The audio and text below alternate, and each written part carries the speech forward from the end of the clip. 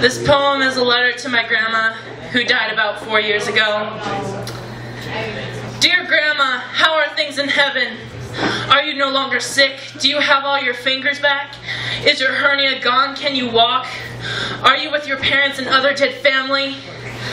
I miss your warm hugs with your big soft arms. I miss the stories you would tell me when I'd had nightmares. I miss your comforting voice when I came home crying after being bullied. I miss your toothless smile when I made you laugh. I miss your cooking as well. Oh, how yummy your banana bread was. I miss your grayish brown hair. It was softer than silk. I even miss the scent of gardenia perfume and misty menthol light 120s that followed you everywhere. I hated to you go.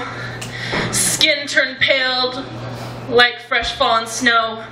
Your grassy green emerald eyes, once filled with love and joy, now cold and lifeless. Moss covered rocks, now closed in eternal slumber. There are a lot of things I miss about you, but the one thing I miss most is just you.